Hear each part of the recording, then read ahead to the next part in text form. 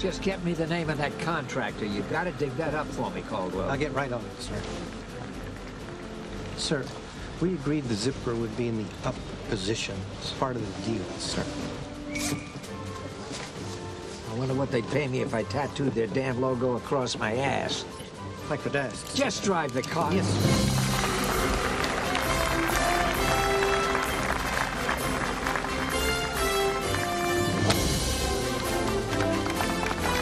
Yes! You know, I've actually thought about playing professionally. Ah, well, gee, I don't know about that, Bill. I think that the ladies' tour likes their players to be a little more masculine.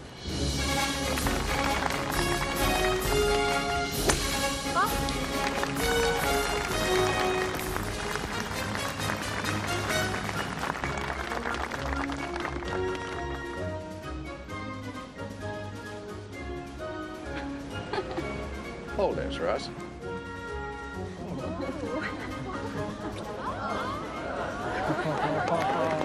Oh, thank you, Russ. That's for you. Oh, you son of a...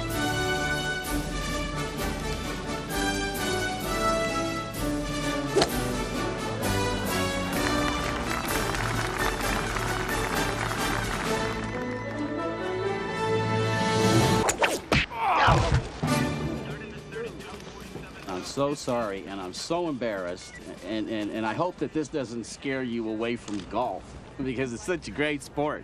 I, know your people, the black people, don't really enjoy the game. But I think that's because you can't get into the nice clubs, the restricted ones. And on the other hand, your people are so good at so many sports that maybe it's good that we white folk have a sport you guys are not so good at. I'm Mr. Vice President, this way. Is there a problem? There'll be less of one if you step this way. Okay, so long. Oh, man, I'm getting a cramp.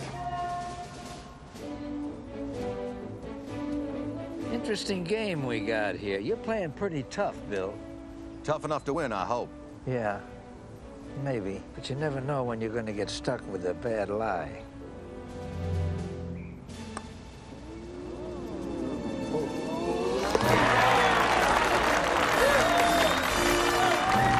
Watch out. Here comes Douglas fighting back from behind. Too little, too late. You're never gonna catch us. No, but I'm pretty sure I'll catch one of you.